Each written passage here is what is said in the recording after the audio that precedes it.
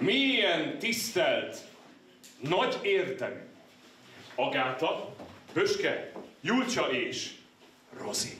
Vagyok mondjuk a beszélő mozi.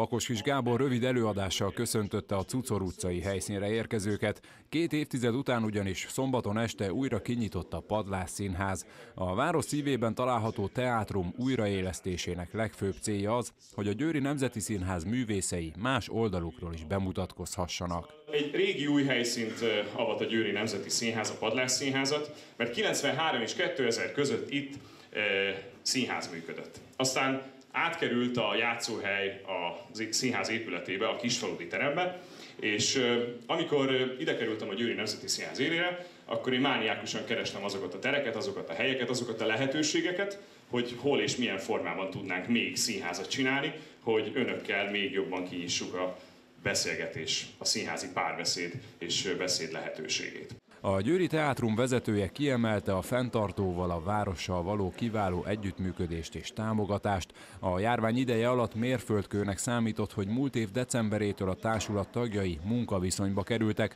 akik a beléjük vetett bizalmat mindenképpen szeretnék viszonozni a város és a közönség felé. Én két év vagyok polgármester, és gyakorlatilag két hónap után jött a Covid, úgyhogy nyakunkba zuhant, és hát ha valami, akkor a kulturális életet ez pofon vágta, és igazgató is akkor lett a színházban igazgató, amikor éppen mélyponton volt a színházi élet és a kulturális élet, de tényleg, ahogy elmondta már, itt társadatot hoztunk létre újra évtizedek után Győrvárosában, és most 22 év után ismét kinyit a Padlás Színház, ami egy sokkal intimebb előadási lehetőséget tesz lehetővé, egy sokkal intimebb előadó-hallgató közötti kommunikációt.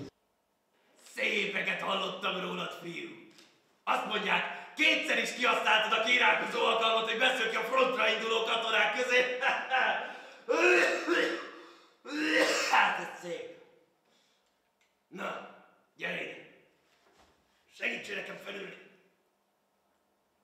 Mi van? Nem érted? Egy kórházban vagyunk. Ne bokáig.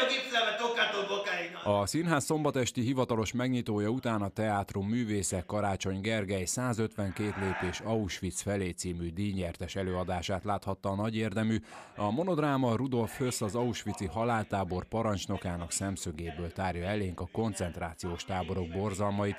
A szövegkönyv a háborús bűnös emlékiratai és történelmi beszámolói alapján készült. A katartikus előadás arra keresi a választ, hogy válhat náci tömeggyilkos egy ötgyermekes családapából. A padlás színházi bemutatók leginkább azokhoz szólnak, akik szeretik az újító, kortás, színészközpontú produkciókat. A szombati sikeres premier után április első napjaiban Szina Kinga ad tovább című estjét, majd Jáger András Álmom az Isten zenés bábos verselését tekintheti meg a nagy érdemű, illetve április 14-én ismét látható Karácsony Gergely előadása a Cucor utcai tetőtérben.